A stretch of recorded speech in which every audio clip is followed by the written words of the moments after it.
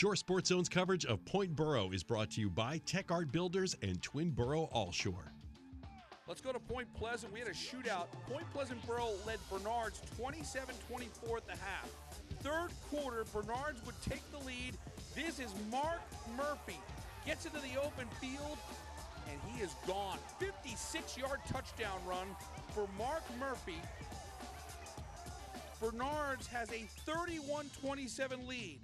Point Pleasant Borough answers right back. They march down the field. Look at this run by Tanner Gordon. This is what the playoffs is all about. You've got to figure out a way to get those extra yards, and Gordon does it and then some here. 19 yard run inside the 10. Fourth and goal from the one yard line. James Farrell looking to give Point Borough the lead. Oh, he is so close.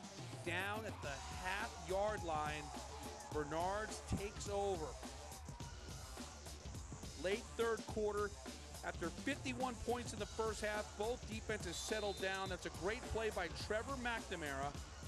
31-27 Bernards at the end of three. Fourth quarter now, 3.25 to go. Point Pleasant Borough defense. That's Farah causing the fumble. Aiden Connolly recovers. And so now, Point Pleasant Borough takes over on the 44 yard line.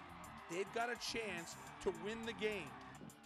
And it's Farah on first and long after a holding call to Nate Chiarello. That's a 17 yard gain. It's fourth and one from the 24 yard line, just over a minute to go. Farah, can he find that yard? Oh man, that is close. And just like the previous fourth and one, Point Pleasant Borough comes up just inches short. And Bernards gets the win. And you see the celebration and you see the emotions of what playoff football is all about. And it's a tough end to the season for Point Pleasant Borough, but it shouldn't dampen what was an incredible year for Point Pleasant Borough. The B South champs, 8 and 2 record, Bernards, just one touchdown in the second half. Mark Murphy's 56 yarder wins it. The Mountaineers, 31 27 winners over Point Pleasant Borough. Bernards will face the winner of Lincoln and Raritan. We'll have highlights of that one on our Saturday highlight show from Jersey City. Congratulations to first year head coach Matt Salento and everybody involved with Point Pleasant Borough football. And we want to make sure to thank our sponsors.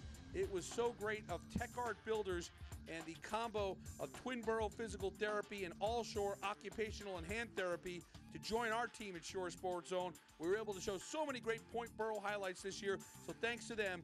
But it's Bernard's, a 31 27 winner at Point Pleasant Borough.